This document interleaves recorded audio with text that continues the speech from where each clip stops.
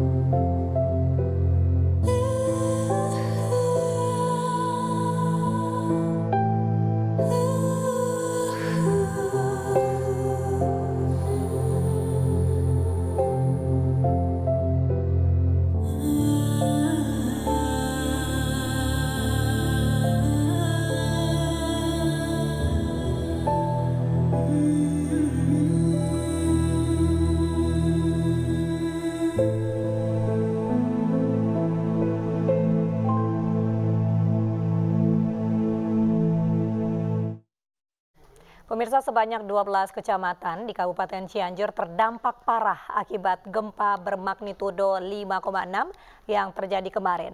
Proses evakuasi korban oleh tim gabungan dibantu warga masih berlangsung. Desa Ciberem, Kecamatan Cugenang jadi wilayah terdampak parah. Bangunan rumah warga dan fasilitas umum runtuh dan menimbun sejumlah warga. Proses evakuasi terkendala akibat jalan yang terputus. Tim gabungan dibantu relawan masih berupaya mengevakuasi korban dan diduga masih ada korban jiwa yang tertimbun reruntuhan bangunan. Tim relawan akhirnya sore hari berhasil mengevakuasi seorang korban berjenis kelamin laki-laki berusia 30 tahun jelang hujan turun di lokasi.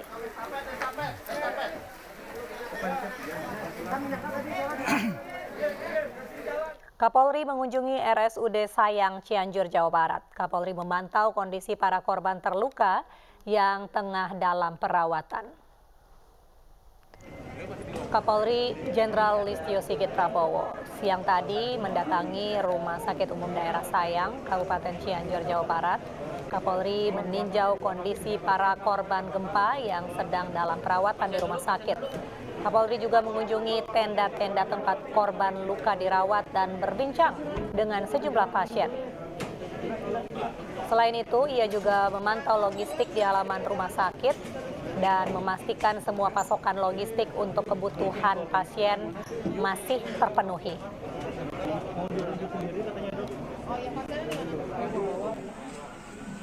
Selain di RSUD Sayang, Kapolri Jenderal Listio Sigit Prabowo juga meninjau penanganan korban gempa di Rumah Sakit Bayangkara Cianjur, Jawa Barat. Kapolri menyapa langsung korban gempa Cianjur yang tengah dirawat di Rumah Sakit Bayangkara. Ia pun mendoakan agar korban gempa yang tengah dirawat segera pulih.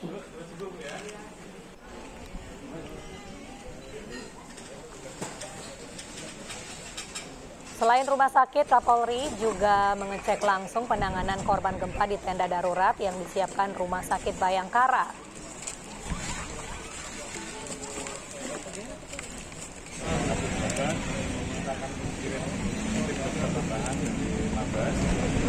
bisa membantu korban-korban yang rata-rata. Memang ada sedikit terdampak, namun demikian untuk kegiatan operasional rumah sakit secara pusat bisa berjalan.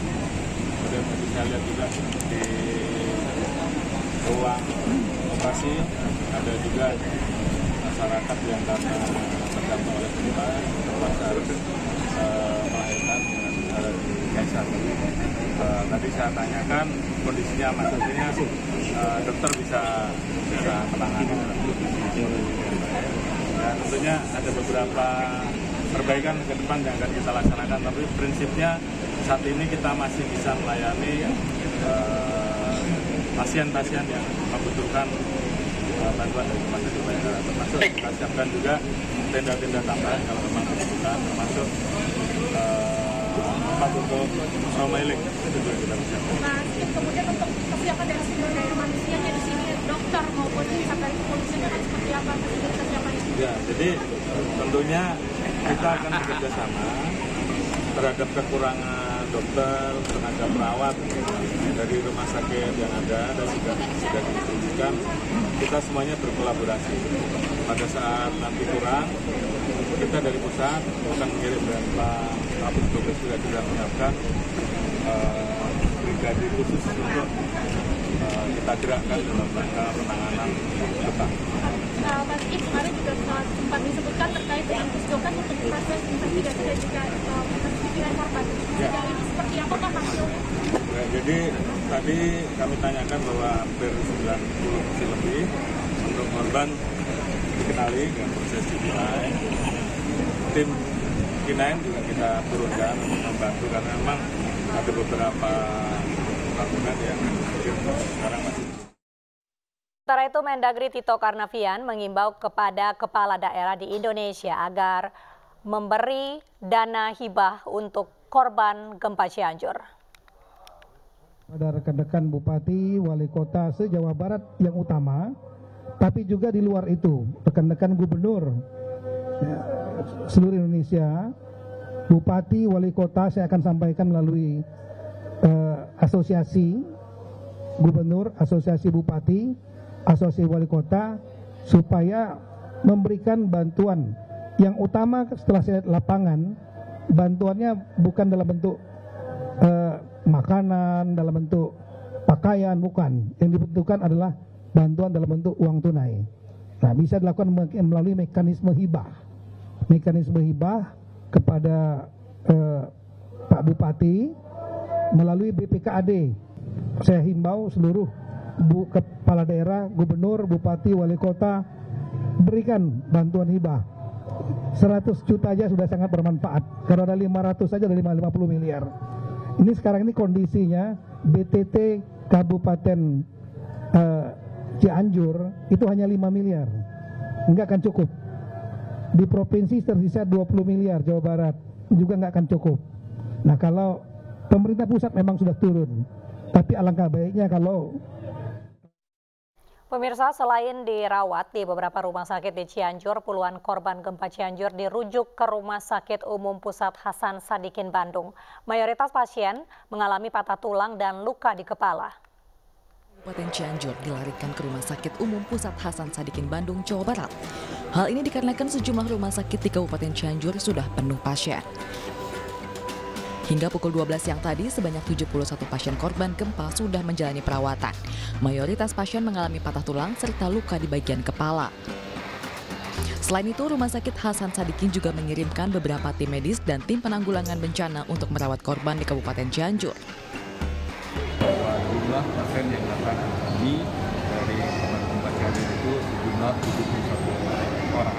Dan setelah menjalani perawatan, orang yang bisa pulang kemudian 23 menjalani perawatan dan saat ini sedang melakukan operasi itu 9 orang dan sisanya yang orang ini masih menjalani perawatan.